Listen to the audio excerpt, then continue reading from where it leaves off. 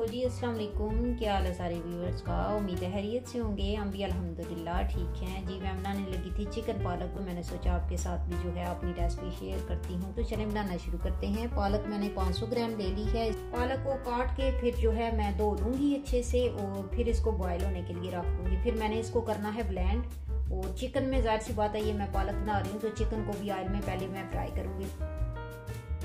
यहाँ पर जो है मैंने पालक को बॉईल कर लिया था और फिर ठंडा किया और फिर जो है मैंने ब्लेंड कर लिया था और अब मैं चिकन को फ्राई कर रही हूँ। छः टेबल स्पून मैंने ओलिव ऑयल डाला है।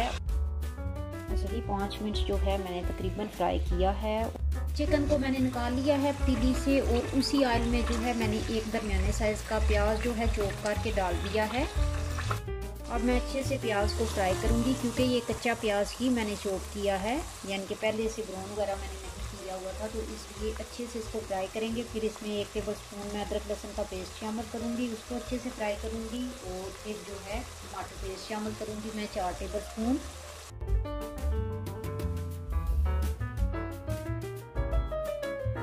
अदरक लहसुन के पेस्ट को मैंने अच्छे से फ्राई किया है। अब मैंने टमाटर पेस्ट शामिल कर दी है। अब ये मैं मसाला जात शामिल करूँगी, जिसमें कुछ धनिया पाउडर है, मेथी है, नमक है, काली मिर्च है, कश्मीरी लाल मिर्च का पाउडर है और हल्दी है। एक एक टीस्पून बाकी मसाला जात थे और कुछ धनिया पाउडर डेढ़ टी स्पून था, और नमक जो है आप अपने टेस्ट के हिसाब से शामिल कर सकते हैं।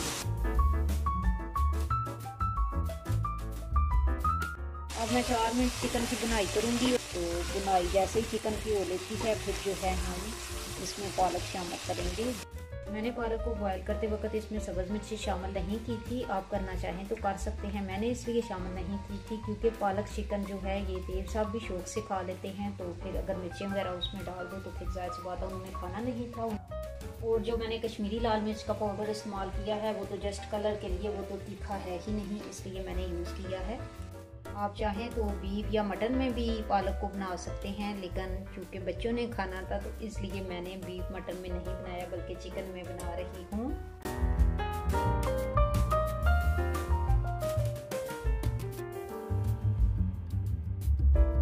अब मैंने पाँच मिनट के लिए कवर किया है। अब चिकन भी अच्छे से गल जाएगा और जो पालक में पानी वगैरह था, वो भी खुश्क हो जाएगा। फिर जो है, हम लास्ट में बुनाई कर लेंगे। चिकन भी हमारा अच्छे से गल चुका है। और मैं अच्छे से बुनाई करूँगी, क्योंकि पानी वगैरह को पालक में, फिर आपको पता है कि नहीं दिल करता खाने का। माशाल्लाह से पालक चिकन हमारा तैयार हो चुका है। जितना भी इसमें पानी था, पालक में ये खुश्क हो चुका है और देखें ऑयल भी जो है सेपरेट हो गया है। माशाल्लाह काफ़ी देर जो है मैंने इसकी बुनाई की है। आप बिलीव करें कि मुझे छः से सात मिनट हो गए हैं इसकी बुनाई करते हुए। अब मैं इसमें गर्म मसाला एक टी स्पून डालूँगी